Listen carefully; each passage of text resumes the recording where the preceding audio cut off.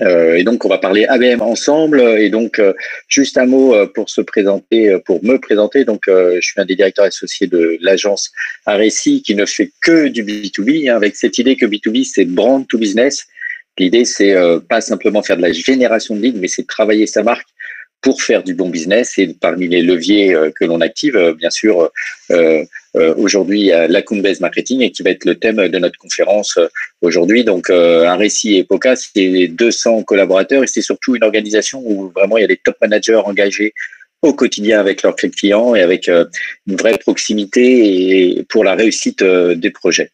Voilà un exemple de nos clients avec lesquels on travaille toute l'année et avec lesquels on essaye de bien travailler pour leur satisfaction. on va parler ABM donc ensemble euh, maintenant. Et donc, euh, ces dix étapes, on les a découpées en trois grandes phases. La première, euh, c'est l'organisation et la mise en place d'un plan de bataille solide. Deuxièmement, toute la phase d'adressage des cibles de manière proactive. Et la troisième phase, c'est tout ce qui va être lié à la sécurisation du closing. Euh, revenons un petit peu en arrière, euh, un petit peu de définition, on va dire. Euh, donc, ben on a, vous vous souvenez de la, la outbound, hein, c'est un mot qu'on utilise moins, mais qui en fait une stratégie qu'on reste à mener, hein, qui est plutôt publicitaire et qui correspond un peu à ce grand chalutier qui va racler un peu tout le fond de la mer et donc une tactique, on va dire, pas très smart. on a beaucoup parlé de l'inbound, hein, qui est beaucoup plus déjà euh, fine dans son approche puisqu'elle euh, va euh, par une mécanique de SEO attirer des populations sur des espaces digitaux, mais souvent avec un problème, c'est que compte tenu aussi du tissu économique français, on a beaucoup de petits poissons et donc de petits prospects et donc de petits projets, donc qui euh, fait qui rend aussi plus difficile le ROI de dispositifs inbound. Alors que l'ABM, on est plutôt dans la pêche au gros hein, pour aller chercher euh, des gros euh, euh, poissons, hein, des, des, cibles plus importantes. Et voilà donc l'objectif de l'ABM. Donc, juste pour refaire euh, pour être clair, hein, vous connaissez euh, cet entonnoir où on va attirer largement euh, toutes ces petits poissons et puis on va essayer de trier et d'aspiner par l'entonnoir pour aller uniquement traiter ceux qui sont pertinentes en termes de cibles. Alors que l'ABM, on est vraiment dans l'autre sens. Hein, on va d'abord commencer à faire ce travail de recenser les entreprises cibles. Hein, et donc ça, c'est vraiment la première étape importante à faire. Puis après, de les engager dans une campagne le plus personnalisée. Puis de développer la relation, euh, de l'élargir aussi en essayant d'aller de plus en plus euh, dans différentes directions, dans ce compte, dans des filiales, etc., pour développer le chiffre d'affaires propre à euh, cette cible. Donc, pour faire ça, on, distingue aussi trois types d'ABM hein, et, et, et, je vous inviterai tout à l'heure à répondre à une question pour puissiez vous vous positionner par rapport à la, aux typologies d'ABL que vous avez menées. Hein. donc, il y a l'ABM one-to-one où vraiment on va travailler une liste de, une liste de comptes stratégiques très faible, hein, où on va vraiment, euh, et nous ça nous est arrivé, mener des campagnes pour un ou deux comptes spécifiques, où on a vraiment une recherche euh, euh, de, de, de relations, de proximité forte avec ces comptes. On a de l'ABM personnalisé, on va déjà travailler toujours sur des listes mais plus larges qui vont être euh, par exemple euh, un code NAF ou euh, mais dans ce code là on va faire quand même une liste. Et puis troisièmement l'ABM programmatique où là on va vraiment être dans beaucoup de cibles et on va mettre beaucoup de technologies pour justement adresser largement tout en étant personnalisé ces cibles on va voir ça après euh, plus ensemble. Donc n'hésitez pas, n'hésitez pas à me poser des questions à faire mesure euh, dans l'onglet de droite. Hein, euh, voilà, on, va faire une session un petit peu interactive ensemble et donc on va démarrer par cette première phase avec les étapes 1, 2, 3 et 4 et qui est donc l'organisation d'un plan de bataille solide. Alors premièrement, euh, première étape, coordonner son organisation marketing et commerciale. Alors ça peut paraître euh, un peu une évidence ou simple à faire, mais croyez-moi, c'est loin d'être simple de pouvoir euh, en même temps euh, aligner des équipes, c'est-à-dire définir un peu des responsabilités, euh, aligner des objectifs. Et donc là, souvent, aligner des objectifs, c'est aussi euh, aligner les rémunérations des commerciaux. Voilà, il faut de, impérativement modifier les rémunérations des commerciaux pour les aligner avec les objectifs propres à l'ABM. Euh, c'est aussi aligner les reporting. Et là, mon, mon conseil, c'est de faire un seul reporting. Quand je dis un seul reporting, que ça soit le même pour les commerciaux et pour le côté marketing. Et puis alignement des cibles. Et donc c'est là où souvent on y passe beaucoup de temps, c'est de travailler sur la liste qui va permettre euh, de se mettre d'accord sur qui on adresse, qui on adresse en termes de société et qui on adresse aussi en termes de fonction. Donc, euh, ça, c'est mon premier euh, euh, première étape. Donc, coordonner son organisation marketing et commerciale. Et pour que ça fonctionne, moi, ce que je vous recommande, c'est de nommer un coordinateur, quelqu'un qui va être là pour coordonner tout ça. Parce qu'on se rend compte que très vite, on arrive à des écueils. Ben, si quelqu'un dit, on va cibler le groupe Bouygues, oui, mais le groupe Bouygues, c'est plein de choses. Euh, c'est des filiales de TF1 jusqu'à Bouygues Construction, voire jusqu'à Au Féminin, qui on va cibler. Voire même Bouygues, sous le nom Bouygues, il y a vraiment des sociétés vraiment très différentes. Hein, ce n'est qu'un exemple. Donc, il faut vraiment descendre dans la précision euh, du ciblage et des fonctions euh, associées. Donc, c'est vraiment là le rôle du coordinateur qui va être de travailler avec les directions commerciales et avec chaque commercial pour vraiment définir clairement qui on cible euh, euh, dans les comptes euh, visés. Donc pour info, hein, on a ouvert le sondage, hein, donc vous pouvez déjà répondre à la première question qui vous positionne sur quel ABM vous vous pratiquez entre les trois différents ABM qu'on a vus en introduction. N'hésitez pas à, à vous prononcer sur cette première question. Deuxièmement, définir les reasons why. Donc ça, c'est quelque chose aussi important, c'est d'être bien certain qu'on a défini pourquoi on va écrire pourquoi on va prendre la parole, pourquoi on va s'adresser à ces cibles. Alors, par exemple, on peut se servir des alibis, en fait, ce qu'on appelle un peu les signaux d'affaires. Par exemple, quelqu'un qui est nommé euh, qui vient d'avoir une nomination, qui vient de prendre un poste, on a une vraie euh, on a une vraie raison de prendre la parole pour essayer d'échanger avec lui. On peut aussi se servir de tout ce qui est levé fonds, déménagement. Vous savez, c'est des informations qu'on a aujourd'hui dans les datas et qu'on peut euh, aussi remonter. On peut aussi prendre la parole parce qu'on a identifié que euh, l'entreprise que vous ciblez, elle est venue sur votre site. Hein. Vous savez, aujourd'hui, on peut faire de l'IP euh, et donc l'IP tracking nous permet de faire ça. En fait, ce qui est important là, c'est vraiment de se dire que euh, il faut euh, en ABM écrire que si on est pertinent en apportant une réponse à un enjeu spécifique de cette société. Et il faut faire ce travail euh, au départ, parce que si vous ne faites pas ce travail au départ, vous allez arriver sur des arguments un peu génériques et des arguments génériques ne touchent pas ces cibles-là. Troisièmement, et donc c'est la suite logique, il faut euh, créer une campagne personnalisée, créer une campagne personnalisée. Euh, donc là, euh, souvent on me dit oui, oui, mais faire des contenus très personnalisés, c'est beaucoup d'efforts. Oui, effectivement, c'est beaucoup d'efforts. Donc on va essayer de l'ajuster définir le juste effort par, par rapport à différentes cibles. Alors voilà un peu trois exemples euh, de, personnalisation. Hein. Euh, donc on va faire, euh, on va commencer en bas à droite sur un contenu qui va être adressé à une verticale on va dire bah, mon produit globalement, ma solution c'est à peu près le même, mais comment on va essayer de la teinter pour ce marché spécifique. Ensuite, on veut faire un contenu plus spécifique et vraiment personnalisé à une entreprise, aller chercher des, de la data spécifiquement pour certaines entreprises. Et on peut même encore à un niveau plus supérieur en termes d'effort, d'essayer de faire un contenu qui est vraiment même un co-produit avec la cible. je vais vous montrer un exemple après, comment on peut faire ça, comment on peut engager aussi la cible avec euh, ce contenu. Donc, ce qui est néanmoins le plus important, c'est qu'il faut soigner la porte d'entrée la première manière dont on va échanger avec euh, cette cible, il faut que ça soit le plus personnalisé possible.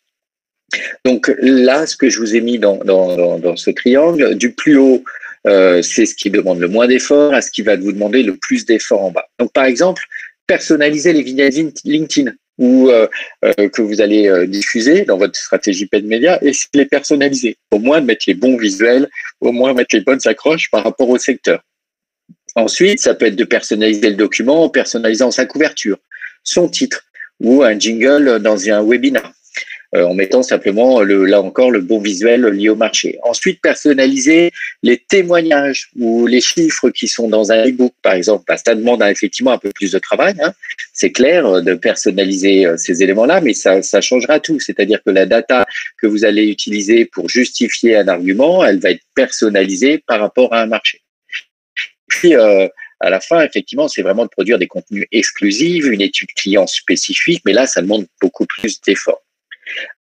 On va regarder. Euh, euh, on va regarder un peu. Alors oui, juste une petite chose. Hein, euh, néanmoins, attention de pas être trop déceptif, hein, de pas trop mettre un contenu très personnalisé, d'avoir quelque chose derrière qui est totalement non personnel. Alors je vais répondre à des questions si vous l'avez bien, fait ça en live. Hein. En volume, combien recommandez-vous l'entreprise pour un sales ou un SDR bah, Je dirais ça va dépendre aussi du nombre de contacts dans la cible qu'on va traiter, hein, mais je dirais euh, euh, souvent ça va être une dizaine, euh, pas plus, ou alors on va être vraiment dans une mécanique où on va être plus d'interaction large, mais pas de rentrer dans un compte très, spécifiquement.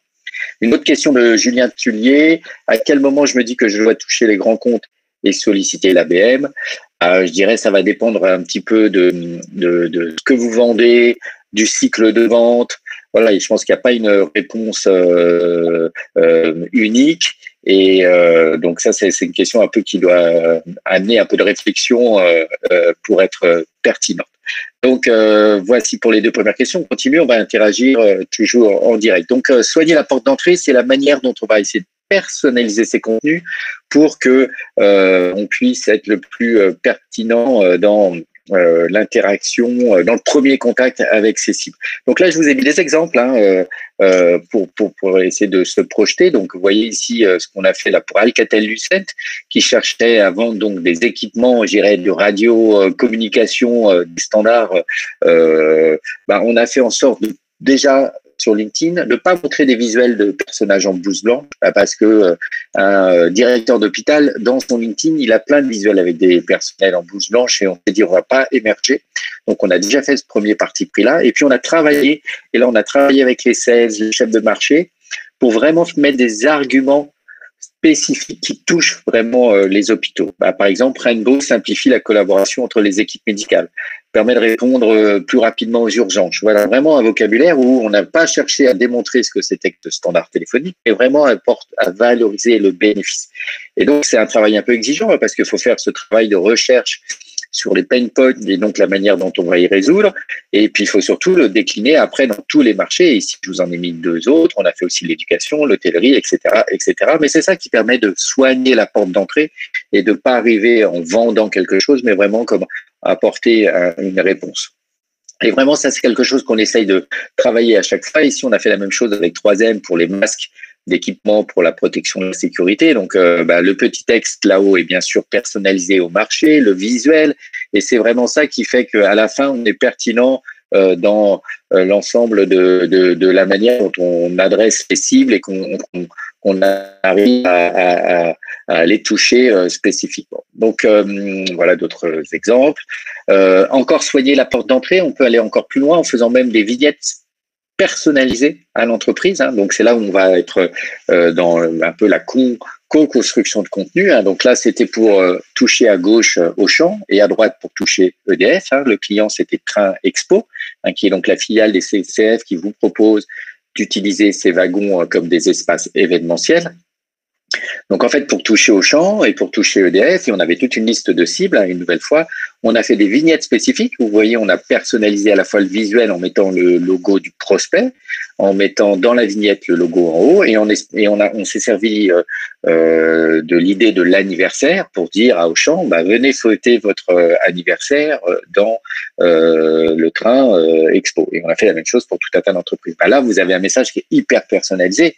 Et même si à la fin, on arrive sur le même e-book hein, que vous voyez en dessous, bah, on a une vraie attirance vraiment pour le message et une vrai euh, euh, intérêt qui se crée.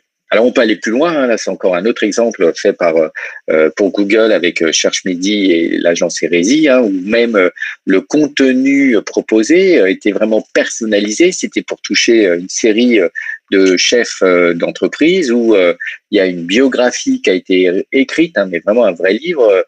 vraiment pour personnaliser la rencontre, on est vraiment en écrivant un livre sur l'avenir de euh, Patrick euh, Pouyanné euh, en utilisant bien sûr les solutions Google. Voilà tout un tas d'exemples qui permettent de montrer comment on arrive à, à produire un contenu vraiment personnalisé. ici, par, par, exemple, pour Hyundai, c'est des articles réalisés pour faire des interviews, un peu en regard croisé. Donc là, on a déjà un premier contact avec la cible. Tout ça, c'est des techniques des mécaniques qui permettent de, faire en fait les justes efforts qui sont euh, possibles de faire par rapport au nombre de cibles, mais qui quand même montrent que euh, on n'est pas là dans une démarche simplement de vente, mais on est là dans une approche un peu de service en apportant quelque chose à la cible. Quatrièmement, personnaliser l'expérience. Donc ça, c'est aussi quelque chose euh, d'important. Donc c'est là où on va utiliser un peu des prix techno. Donc personnaliser l'expérience, c'est personnaliser les formulaires. Hein, euh, là, par exemple, je vous montre des formulaires qu'on va utiliser sur Hyundai Entreprise, ou lorsque la personne qui vient visiter le site est reconnu, donc euh, c'est ce que vous avez à droite, on est dans, et parce que l'entreprise est dans la liste, ben, on va avoir un formulaire qui est personnalisé, où là, par exemple, il y a le nom, un récit associé, parce que là, c'est un exemple, mais on a le nom du prospect qui s'affiche et le nom du prospect qui est déjà rentré dans la case société, donc on a vraiment dans une logique où on va être encore plus dans euh, se rapprocher de la cible. Donc là, on a personnalisé le formulaire.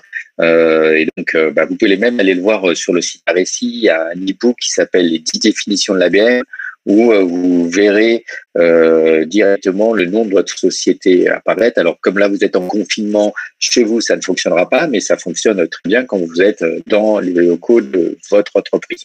Alors on fait la même chose en personnalisant les landing pages, les home pages. Hein. Là c'est par exemple un, exemple aussi pour un de nos clients où on utilisait le code NAF pour personnaliser. Donc euh, à gauche ici vous avez le site générique puis en utilisant euh, le fichier code NAF associé aux listes des entreprises et l'outil Decanti, bah, si vous étiez par exemple dans la verticale aéroport, vous voyez un visuel, alors on ne voit pas peut-être très bien, mais vous voyez un visuel avec un avion, et en dessous dans le retail, on voyait un visuel avec euh, un centre commercial euh, en arrière-plan, et donc le visuel était personnalisé par rapport à votre code NAF.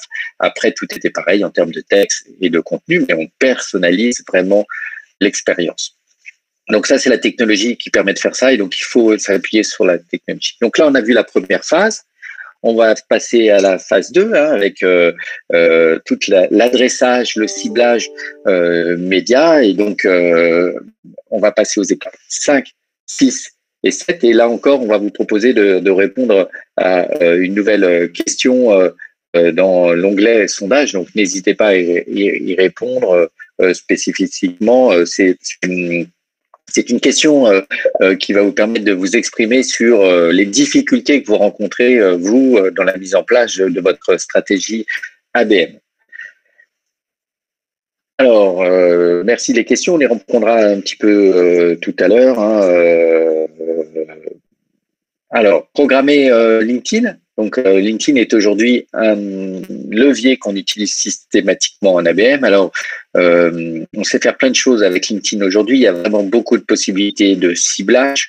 Donc, euh, nous voilà par exemple ici un exemple de stratégie spécifique hein, où on va vouloir dans le cas d'un appel d'offres dans un grand compte et on va vouloir cibler un compte unique première colonne, on va vouloir toucher des décideurs dans une liste de code NAF, par exemple, colonne de 2. On va vouloir simplement toucher des décisionnaires d'entreprises spécifiques de CAC 40, catégorie numéro colonne numéro 3, ou voire vraiment toucher plus largement une liste de prospects. Donc à chaque fois, ça va répondre ce qui a écrit ici à des objectifs euh, différents. Est-ce qu'on est plutôt en notoriété? Est-ce qu'on est plus à la recherche de performance, d'engagement, de formulaire? Et quel budget ça va demander euh, à chaque fois? Donc il faut bien orchestrer ces différentes stratégies par rapport à l'étape où on en est de, sa mécanique ABM.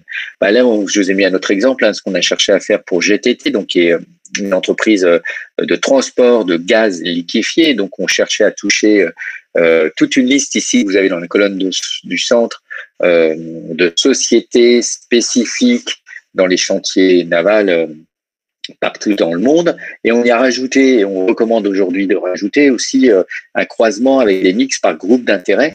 Donc, vous voyez, bah là, on a été chercher le groupe euh, du LNG, donc ça veut dire gaz liquéfié, euh, comme Donc euh, il y a des groupes incroyables dans LinkedIn qui existent, qui arrivent de faire à faire des croisements et de vraiment toucher l'audience pertinente. Parfois, donc ça peut aller faire vraiment monter le CPC, donc le CPL, mais ça resserre vraiment l'engagement média et l'ABM.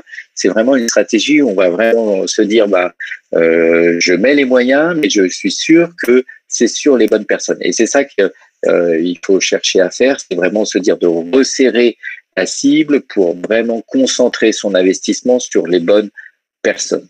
Euh, LinkedIn, c'est aussi un outil qu'il faut mettre à disposition euh, des équipes un peu commerciales hein, pour utiliser les technologies de social selling, donc notamment avec Sales Navigator. Donc mettez LinkedIn, formez vos commerciaux à être proactifs dans l'engagement des prospects, hein, de suivre en parallèle de vos actions marketing euh, euh, des opérations d'engagement spécifiques de leurs contacts et globalement un SDR.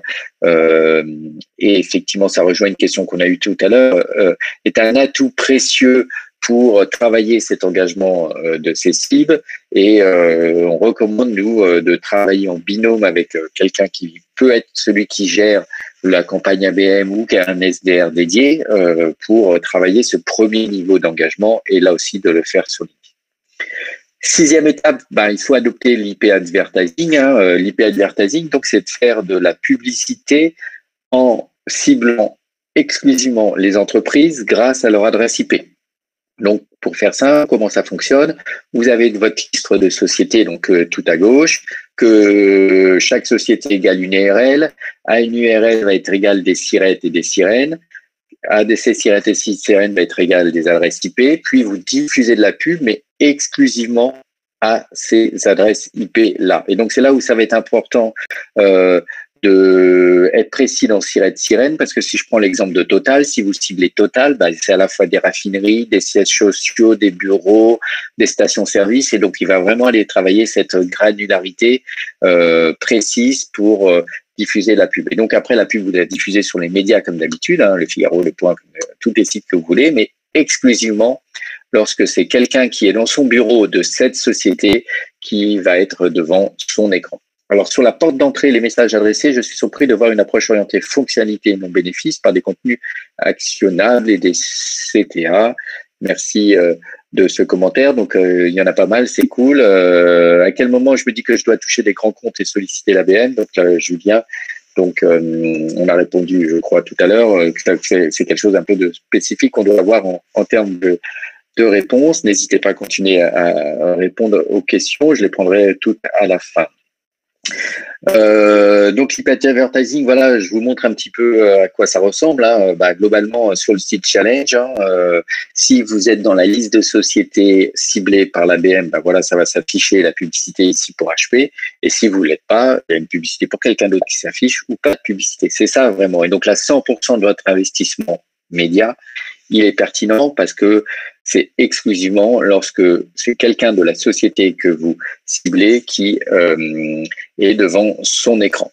C'est automatisé et personnalisé. Donc là, ça va être surtout sur la partie euh, propre euh, à l'ABM en masse. Hein. On va essayer d'adresser largement euh, euh, des cibles. Donc, c'est pas compliqué, c'est compliqué d'en même temps automatiser et personnaliser. Souvent, ça va pas tellement ensemble, euh, mais néanmoins, il faut se challenger pour essayer de le faire. Donc là aussi, les technos nous aident. Donc là, c'est encore l'exemple d'HP où il y avait toute une campagne d'engagement qui se déclenchait dès qu'il y avait un premier signal euh, euh, d'identifier. Et en fait, ce qui était intéressant, c'est qu'on a vraiment personnalisé. Donc, je vous remonte voyez ici le visuel en haut dans le header, il était personnalisé selon le code NAF de la cible où euh, ben, le PC à droite ou l'imprimante à gauche était en regard avec un visuel ben, sur la logistique euh, ici par exemple dans la colonne de droite, sur euh, le BTP, l'énergie en dessous, voilà. donc ça permettait aussi d'engager les cibles avec cette idée un petit peu de personnalisation et qui donnait de la force au message et qui permettait d'être un peu plus dans la persuasion euh, des contacts. Euh, Ensuite, euh, une question peut-être sur LinkedIn. Est-ce de Mohamed, est-ce que c'est vrai que sur LinkedIn, il y a un lien externe en accompagnement d'un texte, c'est 25 à 50% de moins en distribution. Alors, euh, on n'a pas l'info exacte parce que tout ça, c'est les algorithmes de LinkedIn, mais c'est aussi un chiffre que vous donnez lorsqu'on est en, en own media, c'est-à-dire quand vous euh, diffusez vous-même sur votre LinkedIn sans payer un poste. Effectivement, souvent on dit c'est bien de mettre dans le premier commentaire euh, le, lien. Mais là, on est dans une stratégie euh, euh, payante. Donc, de toute manière, ce chiffre, ce taux ne, rentre pas en compte parce que vraiment, l'idée, c'est dans ce cas-là de toucher vos cibles et LinkedIn diffusera votre annonce quoi qu'il arrive parce que de toute manière, c'est payant. Le modèle de LinkedIn, c'est même plutôt du CPC.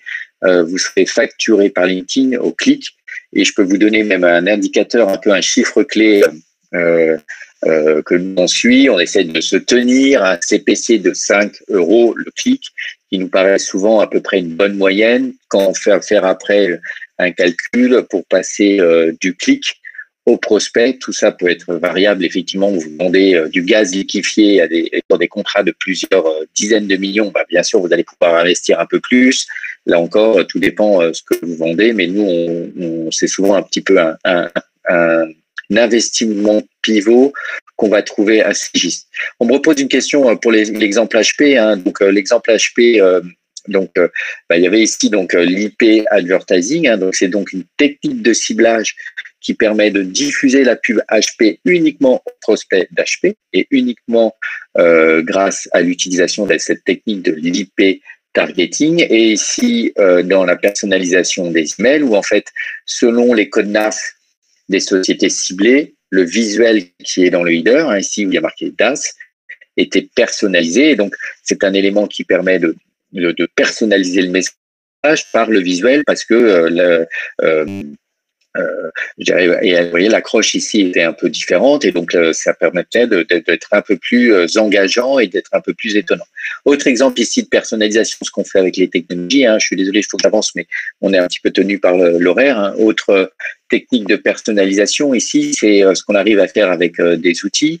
Vous voyez, euh, bah ici sur le gobelet, euh, ici il y a le nom du commercial Guillaume et à gauche ici où il y a marqué first name, automatiquement l'ordinateur va mettre le prénom du prospect et donc le prospect reçoit un email où il y a une photo et qui lui dit euh, bah, Jean-Pierre viens on va prendre un café ensemble et tout ça est fait dynamiquement avec les outils qui permettent de faire ça.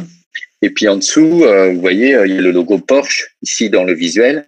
Euh, donc ça, c'était fait pour euh, un studio vidéo hein, qui voulait inciter euh, les prospects à venir faire des tournages dans, dans, dans, son studio et qui disait que ben, le studio était personnalisable et donc il était adapté pour chaque société. Donc dynamiquement, sans avoir bien sûr à faire de Photoshop spécifique pour chaque image, le logo de, du prospect venait ça se s'intégrer dans le visuel envoyé par email.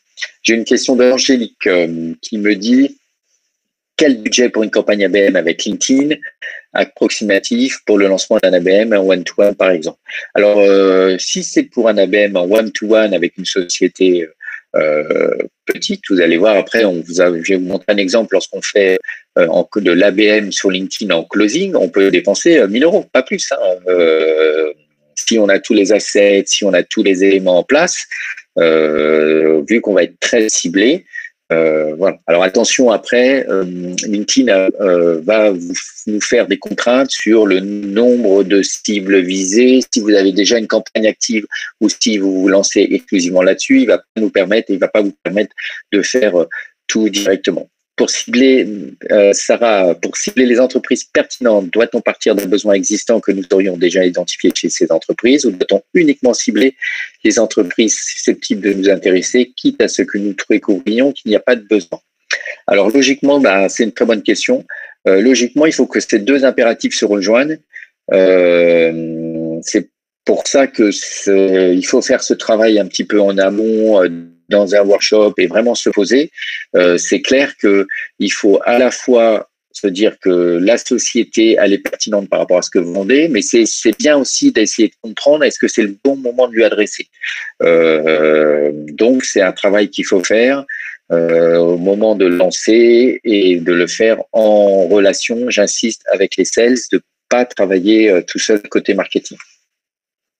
Dernière partie de notre webinar Saloon d'aujourd'hui, sécuriser les closings. Donc, euh, euh, on a vu dans la première euh, partie, on a, on s'est mis d'accord avec les 16, on a créé les campagnes.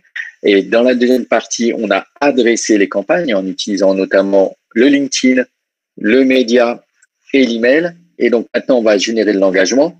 Il va falloir sécuriser le closing, aller jusqu'au bout de la mécanique pour être certain que le passage du marketing au sel se passe le mieux possible et qu'on est bien d'accord sur euh, la réalisation et les résultats.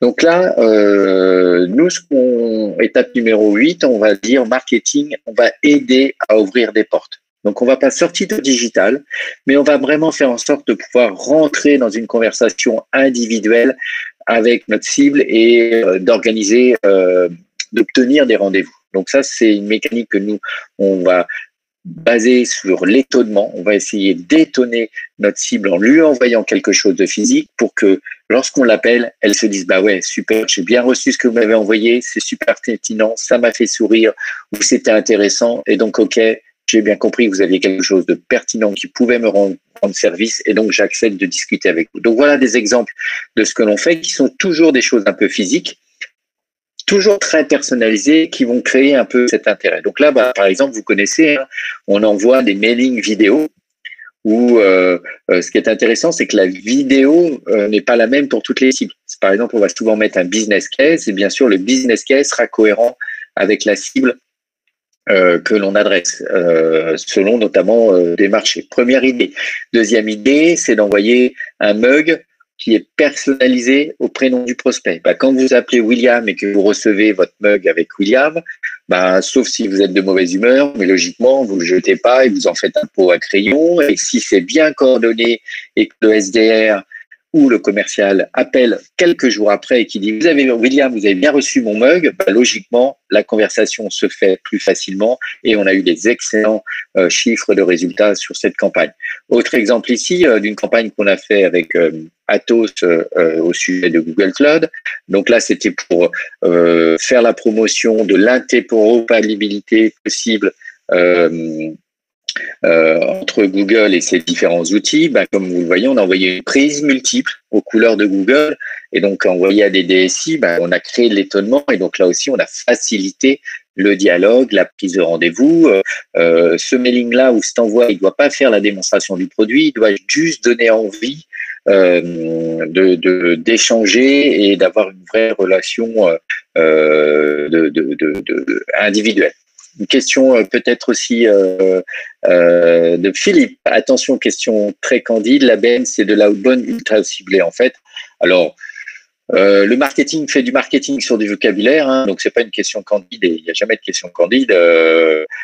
oui et non, c'est-à-dire que souvent ce qu'on met dans l'outbound, c'est plutôt des tactiques qui sont plutôt publicitaires. La BM, vous voyez bien que c'est une démarche plus globale dans laquelle il y a d'autres leviers qui sont néanmoins le ciblage. Euh, le ciblage souvent est plus compliqué individuellement en publicité. Hein. il y a cette fameuse déperdition. Mais oui, c'est néanmoins cette idée-là. En tout cas, euh, c'est là où je vous rejoins. L'idée, c'est quand même d'être plus proactif que dans l'inbound. Hein. Dans l'inbound, on attend que les cibles viennent à soi. Alors clairement, on y va, on va les engager et effectivement, on va essayer de, euh, de filtrer pour que 100% d'investissement soit ciblé.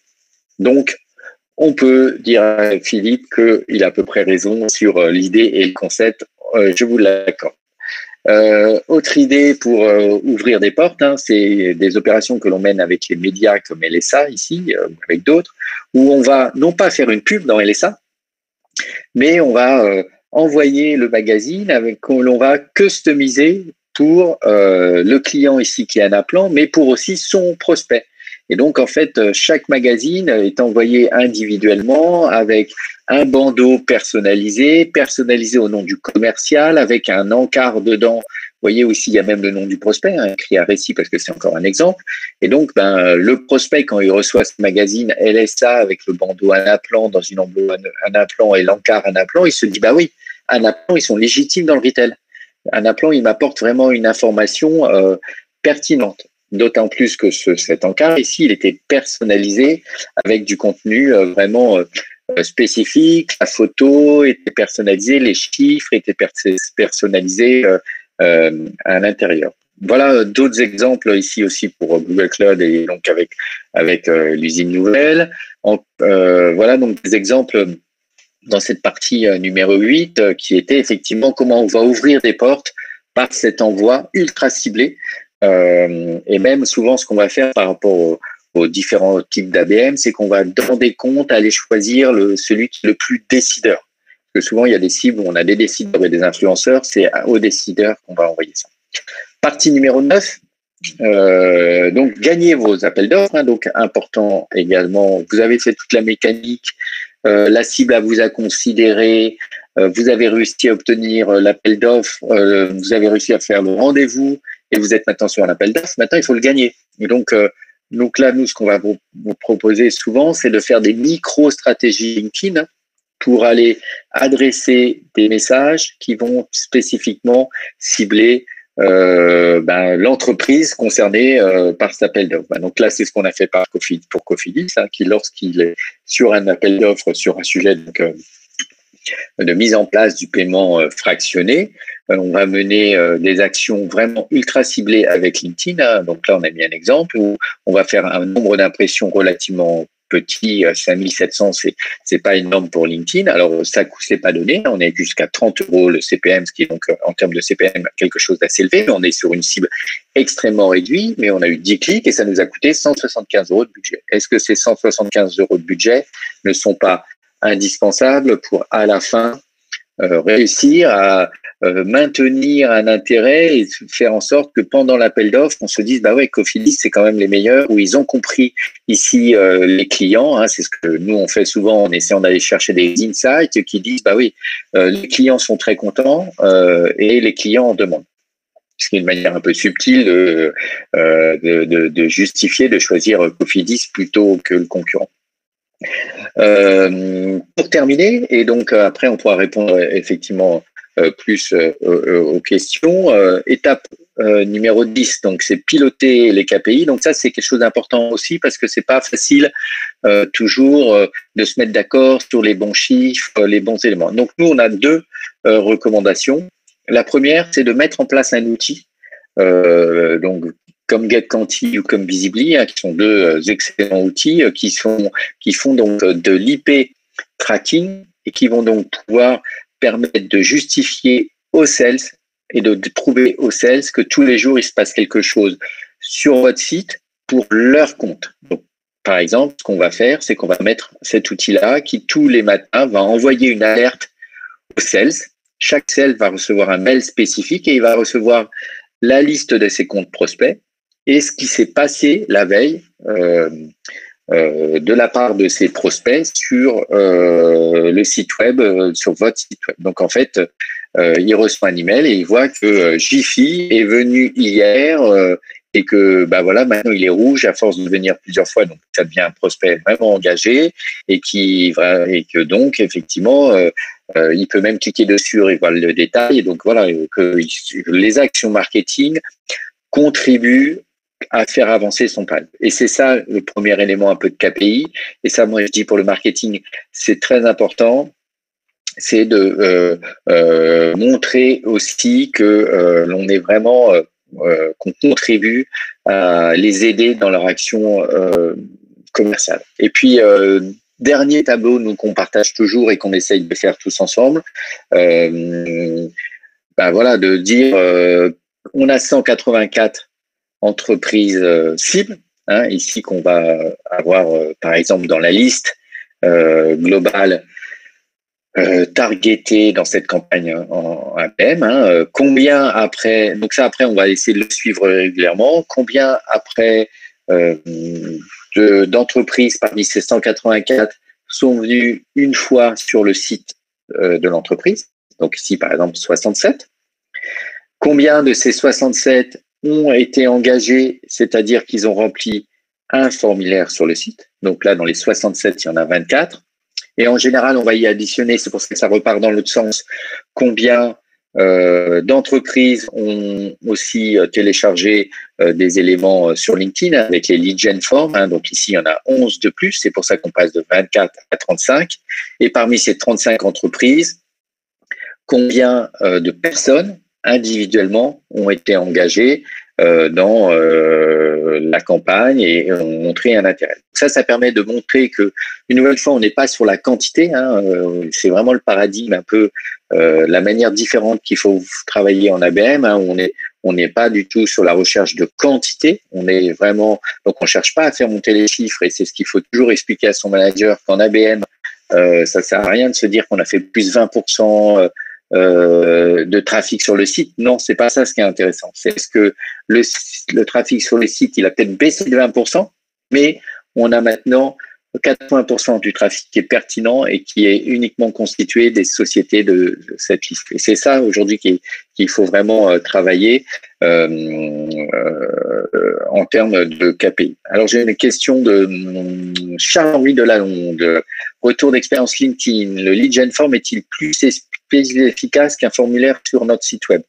Alors je dirais oui. On a quand même des meilleurs euh, taux de complétion euh, en lead gen form. Après, je dirais deux inconvénients. Premièrement, c'est que c'est quand même compliqué de ne d'insister pour que les gens nous laissent leur adresse email pro parce que sur LinkedIn, souvent, dans le lead gen form, on va récupérer l'adresse email euh, perso type Gmail, qui est celle avec laquelle on s'est inscrit dans LinkedIn. Donc ça, c'est pas très grave si vous cherchez, si vous adressez un nombre de comptes euh, pas trop importante parce que finalement, vous avez déjà la data et vous arrivez à reconstituer que Pierre Durand à gmail.com égale Pierre Durand de la société euh, Total et que c'est elle que vous cherchiez à adresser. Donc euh, voilà, néanmoins, vous savez qu'il est intervenu. premier écueil. Et deuxième écueil, c'est quand même que comme on cherche à travailler de l'engagement, Néanmoins, un prospect qui va faire l'effort d'aller sur votre site, remplir un formulaire, il est quand même un peu plus engagé que quelqu'un qui a simplement cliqué euh, et euh, en presque en deux clics par inadvertance récupérer un, un, document. Une nouvelle fois en ABM, on n'est pas simplement dans la recherche euh, de quantité, on va être vraiment dans la recherche de la qualité et de l'engagement. Donc, nous, on recommande de mettre les deux en place, en parallèle. Il y a des gens qui vont euh, effectivement s'engager euh, par le lead form et puis d'autres par euh, d'autres vignettes, d'autres formats, une vidéo, bah, vont aussi aller sur le site et vont aussi remplir le formulaire directement sur votre site. J'ai aussi une question de Virginie. en appel d'offres, est-ce que le fait de payer sur LinkedIn pour cibler le client et travailler sa notoriété peut être mal perçu par ce dernier? Alors c'est une très bonne question. C'est une très très bonne question. Euh, donc là, euh, c'est la subtilité du message. Et donc, euh, vous l'avez vu dans l'exemple que je vous ai montré, hein, que je vais remontrer ici, euh, on n'avait pas du tout mis le nom de l'entreprise que, que Cofidis cherchait à convaincre. Voilà, c'était un message qui était quand même générique et qui permettait juste de dire, c'est d'ailleurs pas Cofidis qui le dit, c'est pas un chiffre lié à une étude, 31% des consommateurs souhaitent bénéficier d'options de paiement plus rapides. Voilà. On n'a pas cherché à dire Cofidis c'est les meilleurs. On a dit c'est une étude qui le dit. Il faut absolument que vous ayez une option qui dise, qui permette de euh, payer plus rapidement. Voilà. C'était une manière indirecte de mettre en avant l'avantage de Cofidis euh, et euh, pour quelqu'un devant son LinkedIn, ça devait paraître comme une annonce sponsorisée comme une autre, mais pas être effectivement une action euh, euh, trop personnalisée. Je pense que c'est une très bonne remarque, Virginie, et c'est ce qu'il faut faire à chaque fois pour tous les assets hein, quand on les personnalise. Il faut, euh, ou y compris avec l'opération un peu le door opener qu'on envoie, il faut être très subtil, pertinent, et, et, quand on travaille sur ces éléments qu'on envoie ici, comme la prise électrique hein, euh, ou le mug. Voilà, il faut qu'il y ait une bonne histoire et une logique.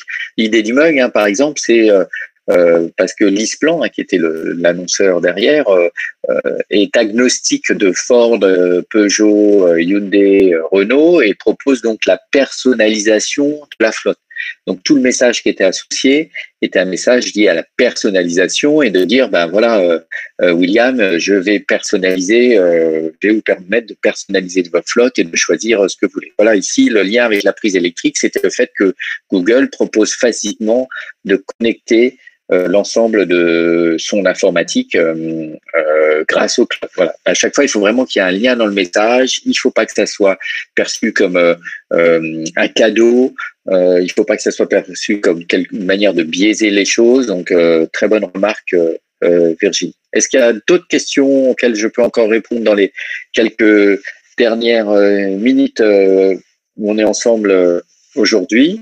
Voilà, en tout cas, merci de présence. Hein, euh, et donc, euh, vous savez que l'événement continue encore tout aujourd'hui et demain. Donc, euh, à votre disposition, vous avez ici mes coordonnées. N'hésitez pas. au plaisir d'échanger sur ce sujet de l'ABM, du B2B, comme vous le souhaitez. Voilà, merci à tout le monde. Et la journée continue tous ensemble.